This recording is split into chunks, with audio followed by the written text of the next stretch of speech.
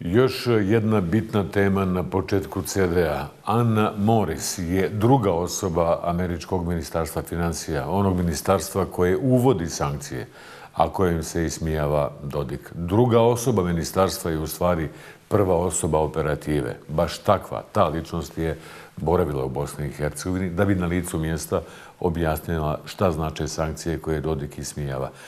Njen dolazak mora da zabrine svakoga sa američke crne liste, što je logično, ali ne samo njih. Pazite ovo. Jednostavno objašnjenje je svaka banka koja posluje sa crnolistašima, obavlja transakcije, otvara račune, mogla bi da bude kažnjena. To pravilo već stoji u objašnjenju sankcija, ali se tek sada zna i valjda primjenjuje koliko je bitno. Naravno, postavlja se pitanje zašto lično prvi operativac ministarstva dolazi u BiH da objasni vlastima i bankarskim agencijama, ali bankama, šta im je činiti i kako se ponašati. Nijedan crnolistaš ne smije imati račun u banci. Nijedna banka ne smije imati klijenta crnolistaša. Sinoć smo u toku CD objavili ovu vijest. E, došla je, pristaje u toku emisije, tada je teško procijeniti i prepoznati je kao bitnu važnu, ali smo to učinili, a sada vam otkrivamo koliko je opasna. Zato je Dodik sinoć paničio i opet pljuvao po Amerikancima. Dakle, u pitanju nije ni entitet, ni ideologija, ni politika, već jednostavno džep Američka crna lista sve duža, stare sankcije aktuelne, a najavljuju se i nove. Ipak za Milorada Dodika, Fadila Novalića i ostali sankcionisane sve beznačajno. Dodik često izjavljuje kako ga nije briga za iste jer nema imovine u SAD-u niti planira tamo putovati. Situacija je ipak puno ozbiljnija. Ana Morris, VD pomoćnika sekretara za financije SAD-a prije nekoliko dana je najavila nove sankcije, ali i istakla da ako sankcije sankcionisana osoba nema imovine ili račune u SAD-u. Za međunarodne i lokalne banke bilo bi rizično ako bi dozvolili ovim stranama da imaju račune kod njih. Sankcije su namjenjene postizanju par ciljeva. Jedna je da se javno pošalje signal o našim specifičnim zabrinutostima, o aktivnostima e, u vezi sa sankcioniranim pojedinicima. Te aktivnosti uključuju podrivanje mira i stabilnosti ovdje u Bosni i Hercegovini.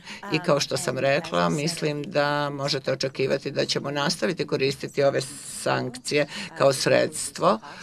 E, to otežava tim akterima da se angažuju u međunarodnim finansijskim transakcijama, da putuju u Sjednjemečke države ukoliko požele i podiže profil međunarodne zajednice u vezi sa akterima koji čije ponašanje nas ozbiljno zabrinjava. Jasmin Mahmuzić, direktor Agencije za bankarstvo Federacije Bosne i Hercegovine, kaže da je sve ovo bankama i ranije rečeno. Banke moraju biti svjesne rizika koji proizilaze iz poslovnih transakcija. Moraju to procijeniti, kao što moraju procijeniti šta je ono što može izazvati reputacijske i neke druge rizike za banke. Ovo je vrlo jasan stav američke administracije koji je i ranije komuniciran. Jedino što je novo jeste da je neko sa ovog nivoa, faktički iz vrha, iz Ministarstva financija Sjedinjenih država došao u Bosnu i Hercegovinu i jasno to rekao. To podiže stepen ozbiljnosti. Mi smo i ranije kontrolisali kakvi se poslovni odnosi uspostavljaju, da li postoje osobe koje nose rizik za poslovanje banaka i kada govorimo o federaciji, sigurno je da je takav rizik u velikom dijelu prepoznat i eliminisan i ranije o poslovanju banaka sa bosansko-hercegovačkim crnolistašima u bosanskom vjesniku govorio je i Igor Crnadak. Ljudi koji su pod američkim sankcijama recimo ne mogu uopšte da koriste platne kartice, nemaju platne kartice, e, nemaju račune u bankama, osim u jednoj gdje im se ostavi da preko nje e, preko njega mogu da prime platu ili penziju. E, imate čak slučaj, evo ja neću, koristiti, neću govoriti o kome se radi,